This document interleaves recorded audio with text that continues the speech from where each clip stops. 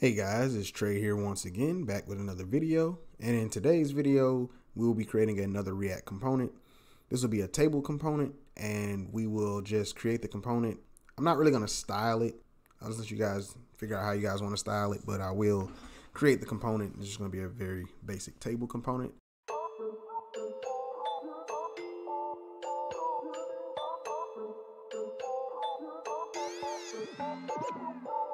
So the first thing I want to do here is I created this list. This is pretty much what's going to be in the table. Um, usually you probably get this from a database or somewhere, but I'm just going to use this hard-coded list for right now. And this will be the information that we want to display, the ID, the name, and the age of each person in this list. And we will render it here um, in this app component right here. So let's go ahead and create our table component. Uh, I'm going to do that by creating a new folder in this components folder. So let's do that. We're going to say new folder, and I'm just going to call it table. Then inside of this table folder, we're going to create a new file called table.js. All right. So now that we have this file, we're going to go ahead and set it up. I have a package installed on here that allows me to use shortcuts to um, set up a React component. So you can get that um, from down here. You just go down here and type in um, React snippets or something like that. You just type that in there and you can download that from there. Let's go ahead and do that. I will do that by typing in RFCE. Hit enter and it creates a component for me. And I will throw, uh, let's actually just go import this into our app.js file. So now that we have this created, we can go to our app.js file and import it here so we can actually render it onto the screen. So I'm gonna go under this import um, the app CSS and we're just gonna say import and then we're going to say table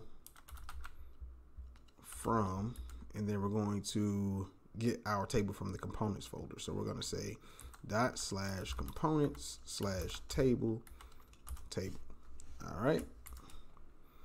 So now we're grabbing that table component and then let's render it out here. So we're gonna um, create a new element here, table to add our component in. And then that's pretty much it. Uh, let's actually put something in this table and run the program so we can make sure that is actually rendering it correctly. So we're just gonna say hello world. Let's save that. And then I'm gonna run the React program by typing in npm start and this will run our program. Um, having an issue, list is used. Okay, that's not a problem. Okay, here we go. So now we can see that it says hello world. All right, so now that we know that we're rendering this, we can go ahead and actually create our table component. So the first thing I want to do is erase this hello world because that's not what we want our table component to have. All right, we're gonna go in here and we're gonna add our properties in first. So um, within this function, the parameters we're gonna pass in for our props, we're gonna um, use destructuring so we can just name out the props here. And we're going to type in the list. So that's pretty much um, what's gonna be the stuff that's gonna be in the table. And then we're going to have the call names. The call names is pretty much the um, the names of the columns for the table. So that will be in our case, if I go back, we'll see that it's ID, name, and age. So we can pass that in. Because um, if you have your list here, let's say we had some abbreviations like, uh, let's say we used NM for name. We wouldn't want the column name to be NM. So we're going to add that as a separate thing. All right. So Let's go back here, finish up our props. We're going to also need to add the width of the table, the height of the table, and we're going to just set those to auto for an initial value if they're not set. That way we can just have it set for us already. So this is pretty much what we're going to need to for our table. All right, so inside of this div here in our return, we're going to want to go ahead and actually create our table. So let's do that by first adding a check. We're going to check to see if the list is empty. If the list is empty, we don't want to render the table because there's nothing to render. So what we're going to do is we're going to say list dot length is greater than zero, and then we'll do these two ampersands. And from here, we can go ahead and render out our table. All right, so we got that. Now I want to actually add the table. So we're going to say table. So this is going to be our table. For some attributes for our table, we're going to set the cell spacing to zero. All right, and for our table, we will add a little bit of style. Um, this is more so for the layout than for like colors and things like that. So I'm gonna go ahead and set our width to the width that we pass in, height to the height that we passed in, and then we'll add a little bit of padding for the table as well. We'll just set it to be five pixels by 10 pixels. All right, so there we go. We have the table set up the way we want it. And now we're going to pass in our header. So our header for the table is just basically going to be the um, column row. So the row with the columns on it, with the column names on it. So we'll um, type in t head, and then inside of here, we're going to go ahead and create a table row. Inside of this row, we're going to have um, all of our headers. So what we're going to do is we're going to need to loop through these column names and actually set them up as um, columns. So let's go ahead and do that. So what we're going to say is we're going to say call names dot map. We're going to say header item index. So we're going to get the item and the index. Then inside of here, we're going to create a table header. And this table header will have to have a key because we need to set a key for anything that we map. So anything that we're going to loop through um, in React, we need to add a key for that. So the key is where the index comes in. We'll just set that as the key. So from here, we can go ahead and set our header item.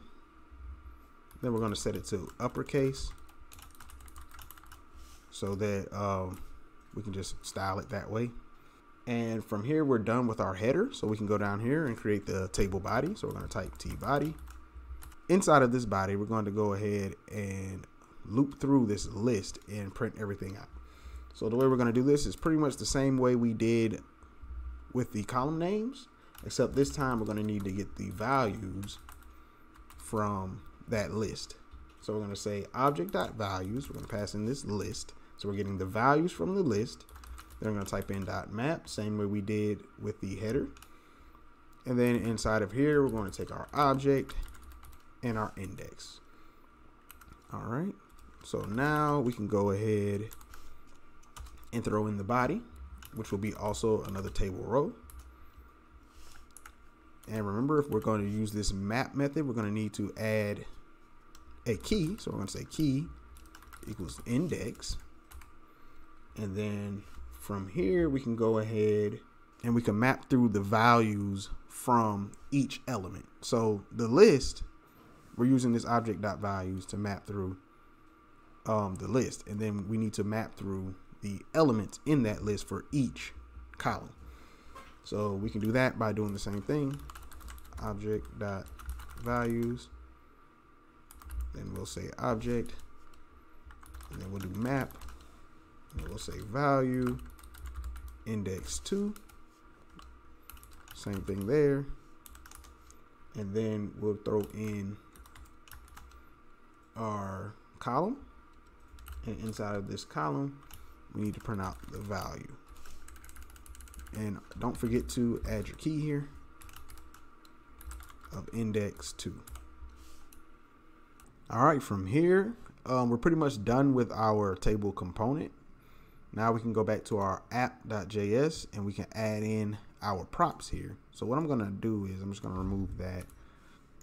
And then I'm going to do the slash bracket notation. All right, and then in here, we're going to add our props. So let's go back to our table component, and then we'll check out what we need. We need the list. So let's set the list. List is going to be the list. Then we're also going to need the column names. So we'll say call names and we'll set that to those. Let's define those. So we'll say const call names and we're going to set that equal to ID name and age. All right, so that is now set. I'm going to capitalize that. Now we can go ahead and put the column names in here.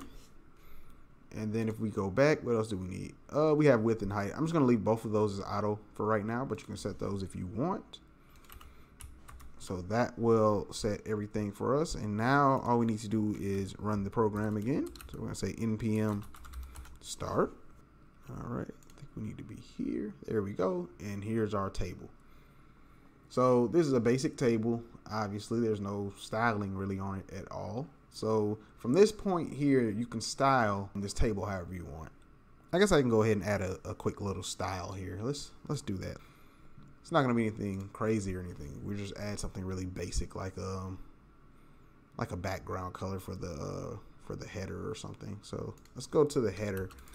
We'll say style, and inside of here we do the double curly braces, and we can say background color, and we'll set it to black. And then let's just set the color to white. That should change that. See, so now we have the header with the background color black and uh, the color white, so the words are white. And then let's add for the entire table, let's add a, something else to this style here. So we're going to go up here to the top div and we're going to add some style in here. So once again, style with the double curly braces. And then in here, we're just going to, let's just set a box shadow. And I'll set it to let's see three pixels six pixels. There's another three pixels. And then the color let's just make it gray. All right and then let's see what we got all right so there is a box shadow we are pushing this out all the way so we might need to set that width to 100% let's try that I'm just winging stuff here now, uh, now, guys. So just bear with me. Let's see what we can do here. Let's set the width to 100%. See what happens there. All right, so now we're stretching all the way across. And I, I think I want to set the width here. Let's set it to like 50% just so we can see the edge. Uh, that should do it. Okay, so now we can see the, the drop shadow a little bit better, but this is just a basic table. You can figure out how exactly you want to do this, um, but this is the component and it will function. Styling is completely up to you. I just added a couple of basic styles here just to show you how you could add styles. And then you could also, in your code, um, pass them in as props here if you want to, instead of hard coding it here. Um, but that's all for this tutorial. Thanks for watching. Like and subscribe to the channel and all that jazz. And I will see you guys in the next video.